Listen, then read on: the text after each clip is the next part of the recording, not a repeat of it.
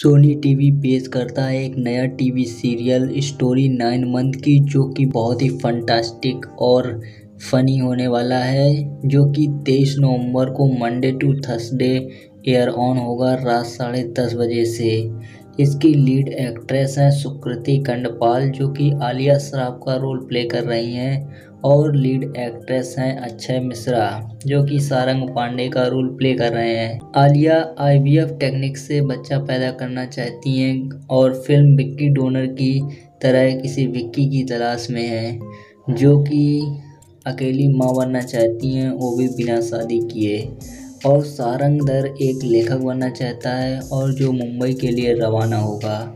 जब दोनों की दुनिया टकरा जाएगी तो क्या होगा? बड़ा ही इंटरेस्टिंग ये शो होने वाला है। कास्ट के आल मेंबर्स अपडेट होते ही आपको इन्फॉर्म कर दिया जाएगा। इसलिए चैनल को सब्सक्राइब करना ना भूलें।